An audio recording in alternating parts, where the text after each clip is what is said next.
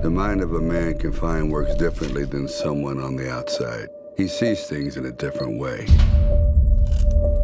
A successful breakout depends on three things knowing the layout, understanding the routine, and help from outside or in.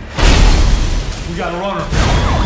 Put your hands in the air now! Showtime. Ray Breslin is able to break out of any prison designed by man. We're testing a prototype facility to deal with people no government wants on their books.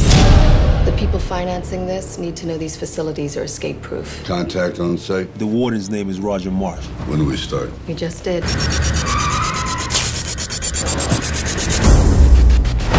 Welcome to your new home.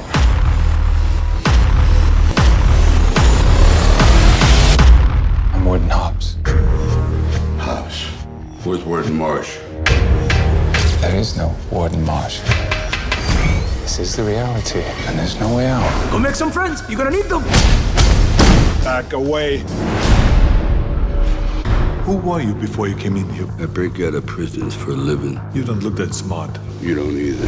The people who paid for you to be here want you here forever. Ray's gone off the grid. Where is he? This is the shadow world. Code name the tomb. Phrase anywhere, it's it. Where is here? I don't know. This was a setup. Somebody wanted to bury me. You have a choice. You can die in here, or you can get out and punish who put you here. I'm gonna find out who, and I'm gonna find out why. Let's do it. I need a diversion.